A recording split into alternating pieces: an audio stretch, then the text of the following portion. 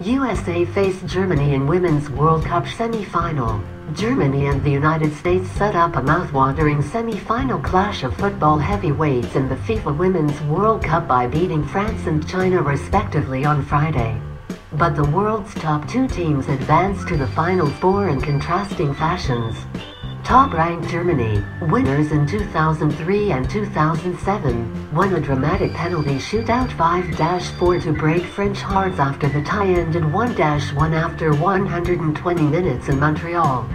The United States, champions in 1991 and 1999, overpowered China 1-0 in front of a largely American crowd of 24,000 fans at Ottawa's Lansdowne Stadium thanks to a second-half Carli Lloyd goal. The scoreline was deceptive as the young Chinese Steel Roses were no match for the world's number two ranked team. It was just great. The more pressure we put China under, the more they coughed the ball up, said Lloyd, who earned her 200th cap in the game. We just kept our foot down on the pedal, and that was just what we needed. We're going to be flying in the next game. Although the Germans played 30 minutes more than the Americans, U.S. coach Jill Ellis doesn't expect it to hamper them in Tuesday's game in Montreal. They're Germans, it won't be a disadvantage for them, quipped Ellis. I don't think it impacts the players at this level. Everyone who steps on this pitch will be committed to playing. The Americans shrugged off the absence of two of their key players, Megan Rapinoe and Lauren Holiday, through suspension. This team steps up in big moments. We didn't have two starters on the field and everybody needed to pitch in. They did a great job, said Ellis. China coach Hao Wei blamed himself for their 25th consecutive defeat to the Americans, who also beat them in the 1999 final. We lost the game because of me, he said. These girls did their best. I didn't do well in tactics. Our goal was to go to the semifinals. We didn't fulfill that so it's a pity. Germany fight hard. Germany got past France thanks to the solid hands of goalkeeper Nadine Angerer, who cleared the final penalty of 20-year-old substitute Claire Lavogez. France had strong support among the crowd of just under 25,000 in the largely French-speaking city of Montreal. Louise Necib, dubbed the female Zidane of the French women's game, could only rue a missed chance to score after just 49 seconds, before she finally nailed the opener in the 64th minute.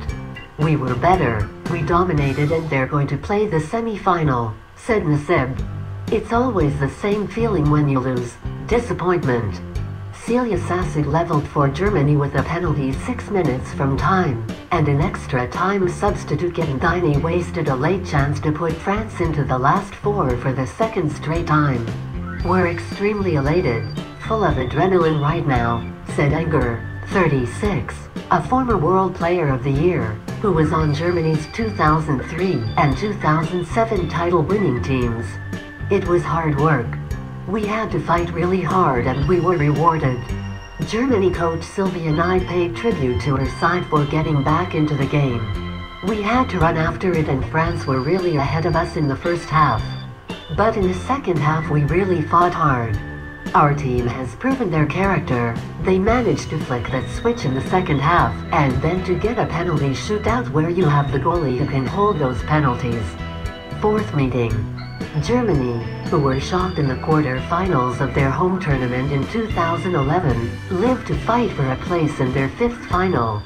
For the United States, it will be a seventh consecutive semi-final in as many editions of the tournament. The two teams will be meeting for a fourth time, with the winner going on to win the tournament each of the three previous times.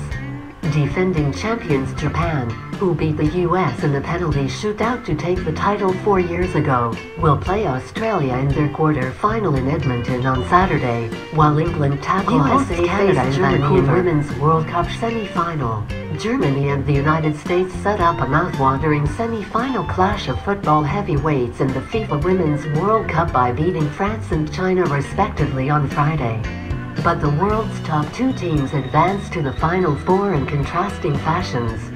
Top-ranked Germany, winners in 2003 and 2007, won a dramatic penalty shootout 5-4 to break French hearts after the tie ended 1-1 after 120 minutes in Montreal. The United States, champions in 1991 and 1999, overpowered China 1-0 in front of a largely American crowd of 24,000 fans at Ottawa's Lansdowne Stadium thanks to a second-half Carli Lloyd goal. The scoreline was deceptive as the young Chinese Steel Roses were no match for the world's number two ranked team. It was just great. The more pressure we put China under, the more they coughed the ball up, said Lloyd, who earned her 200th cap in the game. We just kept our foot down on the pedal, and that was just what we needed. We're going to be flying in the next game. Although the Germans played 30 minutes more than the Americans, U.S. coach Jill Ellis doesn't expect it to hamper them in Tuesday's game in Montreal. They're Germans, it won't be a disadvantage for them, quipped Ellis. I don't think it impacts the players at this level. Everyone who steps on this pitch will be committed to playing. The Americans shrugged off the absence of two of their key players, Megan Rapinoe and Lauren Holiday, through suspension. This team steps up in big moments. We didn't have two starters on the field and everybody needed to pitch in. They did a great job, said Ellis. China coach Hao Wei blamed himself for their 25th consecutive defeat to the Americans, who also beat them in the 1999 final. We lost the game because of me, he said. These girls did their best. I didn't do well in tactics. Our goal was to go to the semifinals. We didn't fulfill that so it's a pity. Germany fight hard. Germany got past France thanks to the solid hands of goalkeeper Nadine Angerer, who cleared the final penalty of 20-year-old substitute Claire Lavogez. France had strong support among the crowd of just under 25,000 in the largely French-speaking city of Montreal. Louise Necib, dubbed the female Zidane of the French women's game, could only rue a missed chance to score after just 49 seconds, before she finally nailed the opener in the 64th minute. We were better, we dominated and they're going to play the semi-final, said Necib. It's always the same feeling when you lose, disappointment. Celia Sasic leveled for Germany with a penalty six minutes from time, and an extra time substitute Gendini wasted a late chance to put France into the last four for the second straight time. We're extremely elated, full of adrenaline right now, said Angerer, 36, a former World Player of the Year, who was on Germany's 2003 and 2007 title-winning teams. It was hard work, we had to fight really hard and we were rewarded. Germany coach Silvia Neid paid tribute to her side for getting back into the game. We had to run after it and France were really ahead of us in the first half. But in the second half we really fought hard. Our team has proven their character. They managed to flick that switch in the second half and then to get a penalty shootout where you have the goalie who can hold those penalties. Fourth meeting. Germany, who were shocked in the quarter-finals of their home tournament in 2011, lived to fight for a place in their fifth final. For the United States, it will be a seventh consecutive semi-final in as many editions of the tournament. The two teams will be meeting for a fourth time, with the winner going on to win the tournament each of the three previous times.